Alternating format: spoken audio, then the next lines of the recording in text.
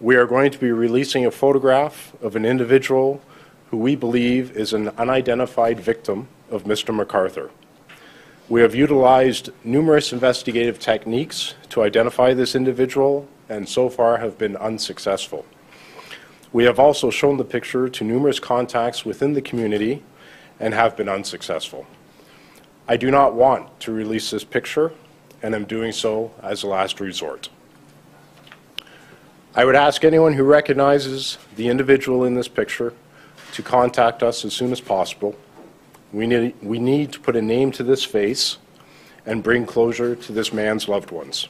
One of the focuses of the investigation has been on human remains found within planters from 53 Mallory Crescent. As I have stated before, these remains are of individuals have, who have been dismembered. They are in various stages of decomposition. Doctors from Ontario Forensic Pathology Services have been doing some very difficult and time-consuming work in attempting to reconstruct these remains and identify them. The remains of three individuals have been identified. I can, however, now report that we have recovered the remains of at least seven individuals from the planters seized at Mallory Crescent. Tests are ongoing in an attempt to continue to identify these victims.